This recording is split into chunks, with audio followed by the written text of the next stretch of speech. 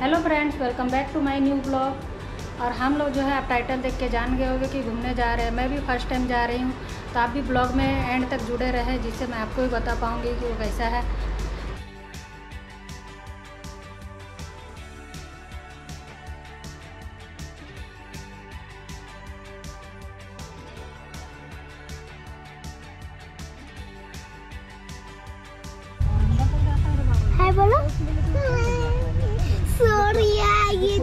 बदमाश गट्टू चश्मा लगा के।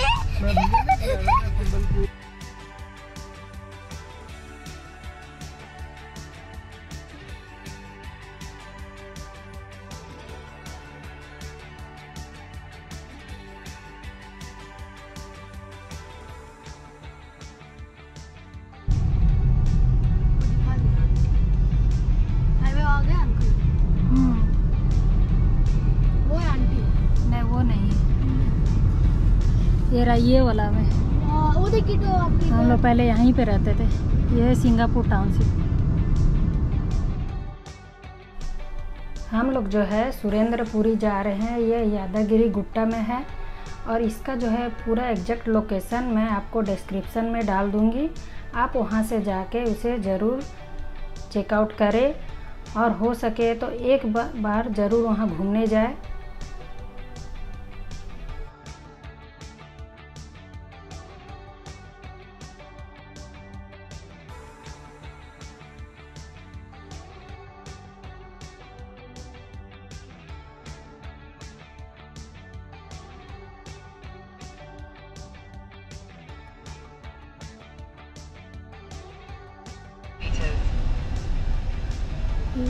यहाँ से पाँच किलोमीटर यादगिरी गुट्टा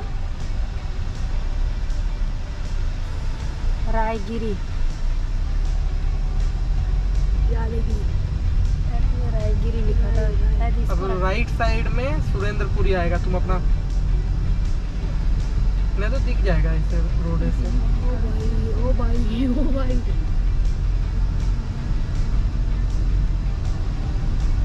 ना ऐसा करा।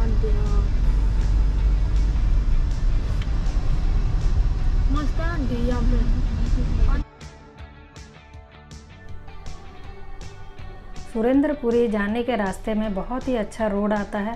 आप देख सकते हैं, दोनों तरफ़ ही बहुत अच्छा व्यू और ये जो है, एक नया ओवर ब्रिज बन रहा है।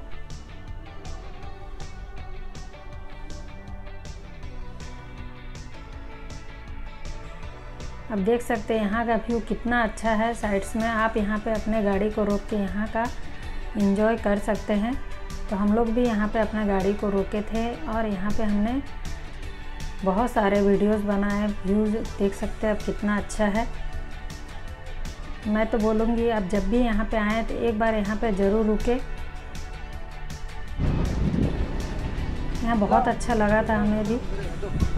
और शाम का समय हो तो और ज़्यादा अच्छा लगता है।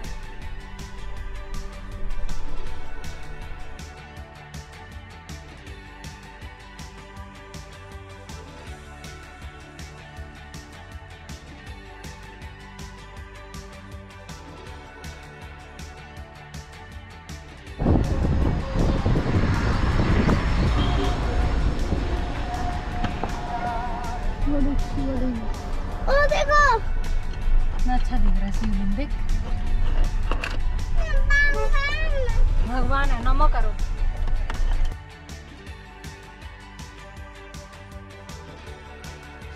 यहाँ पे आराम से आप गाड़ी पार्क कर सकते हैं। आप देख सकते हैं यहाँ बहुत ज़्यादा बड़ा स्पेस है और यहाँ गाड़ी पार्क करने का जो है ट्वेंटी रुपीज़ है। तो गाड़ी पार्क करने में कोई भी प्रॉब्लम नहीं होगी। तो अब हम लोग जो है अंदर जा रहे हैं। बाहर से आप देख सकते हैं कितना अच्छा दिख रहा है। और अंदर में तो बहुत ज़्यादा अच्छा दिख रहा था। और यहाँ पे जो है थ्री फिफ्टी रुपीज़ इसका एंट्री फ़ीस है।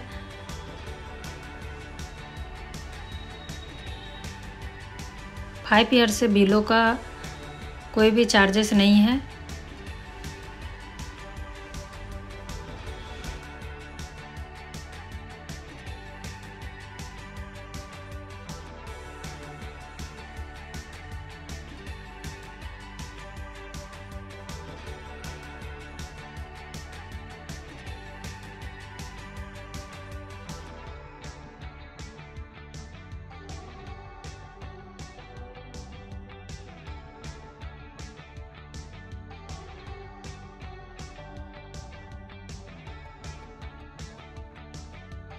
इसका मुँह में सब।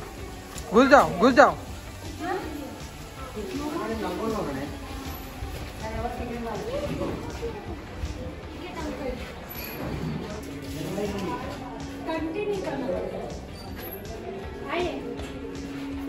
ये क्या है? देखो देखो, इधर देखो। हम्म ये क्या लिखा हुआ है यहाँ पर? हम्म ये है कौरव जो है ना, कौरव लोग का, ये है। कोट मतलब क्या बोलता है उसको? हिंद- दरबार। निशा, इधर आओ तो तुम लोग भागे जा रहा, भागे जा रहा। ये कौन है, मालूम है तुमको? हाँ तुमको है मालूम है? धृतराष्ट्र है। हाँ।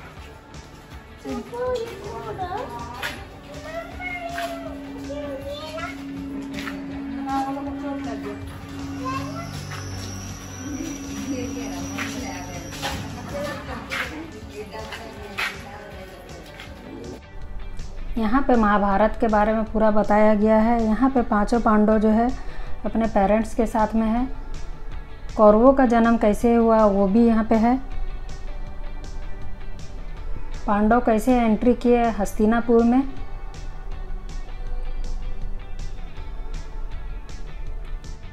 पे आप देख के या नीचे में पढ़ के भी पूरा इसे समझ सकते हैं और नीचे एरो दिया हुआ है जिससे आपको कहीं आने जाने में भी प्रॉब्लम नहीं होगी।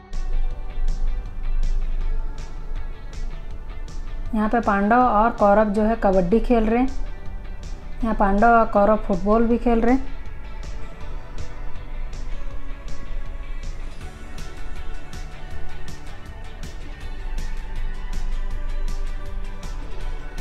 द्रोणाचार्य यहाँ पे जो पांडव और कौरव को शिक्षा दे रहे और यहाँ पे गंधारी ऑयल लगा रही है दुर्योधन को।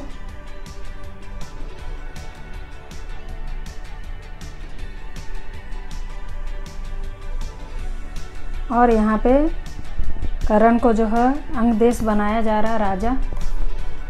इस तरह महाभारत का पूरा जो है यहाँ पे छोटे छोटे स्टैचू में बताया गया है और ये देखने में जो है बहुत ज़्यादा अच्छा दिख रहा है।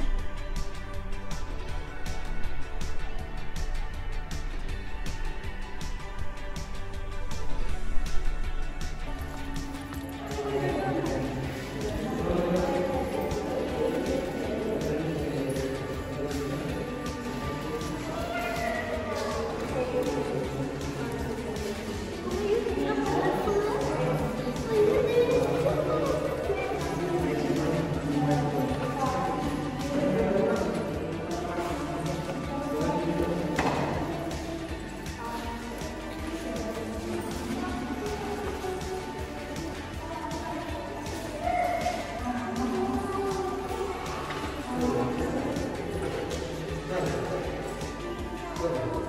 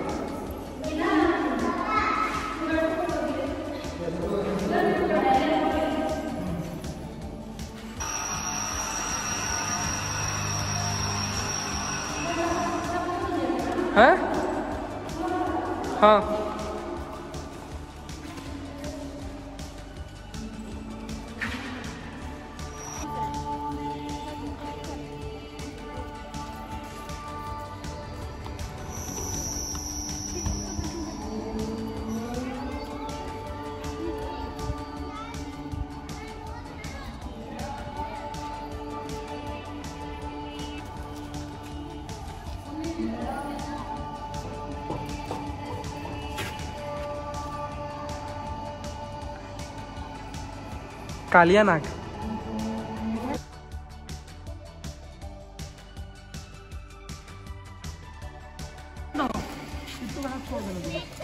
क्या हुआ धूप आ रहा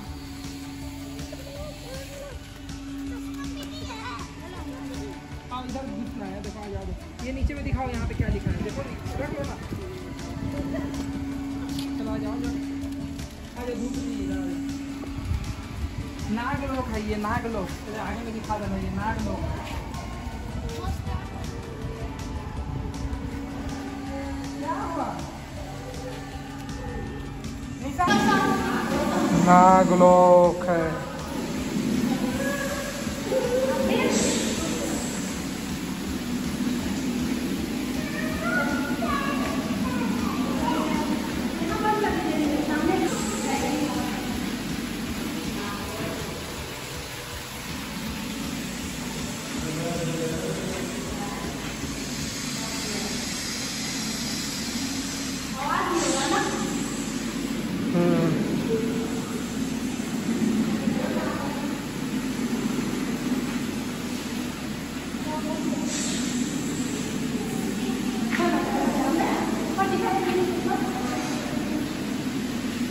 ऊपर क्या है? कुछ तो नहीं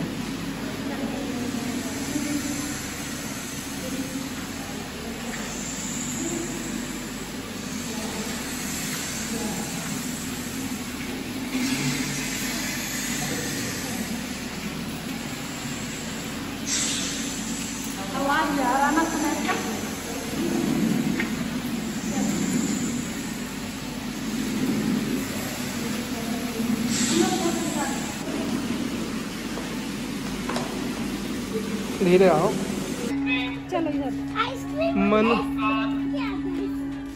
क्या देखो ये क्या है मालूम है हैं? जब प्रलय आया था ना हैं तो मछली बन करके भगवान बचाया था ना? वही है ये। कुछ लोग को बोला था हाँ किसको किसको कि कुछ कुछ गाय सब रख लो हाँ प्रलय आएगा और नौका में बैठ जाना हम तुम लोग को बचाएँगे।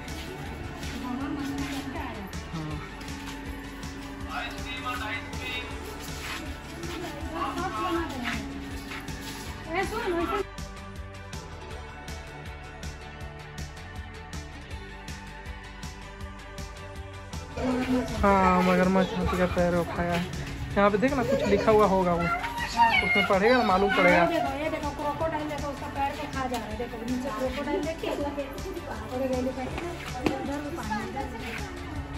इधर देखो ये देखो ये क्या है? Slaying of Duryodhan. ये दुर्योधन जो है ना है यहाँ नीचे में दुर्योधन है उधर पाँच तो पांडव है। और ये दुर्योधन है जो दुर्योधन नहीं लास्ट में पानी में छुप गया था। और ये दुर्योधन जरासंध का वध का है। जरासंध वध। इंद्रलोक है, इंद्रलोक।